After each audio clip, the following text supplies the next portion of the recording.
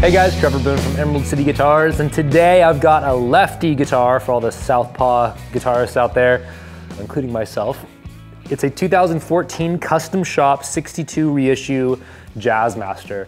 Just got this guitar the other day from one of my buddies, Solomon, who is a local lefty player, collector, and he always, I don't know where he finds all this stuff because I'm pretty hip to what's on the market as far as lefty equipment and he always gets these cool little pieces. This is, a, so again, it's a custom shop. It looks a lot like the American vintage reissues that they did, which are usually, you know, a couple grand or so, really nice guitars. And that's what I initially thought it was.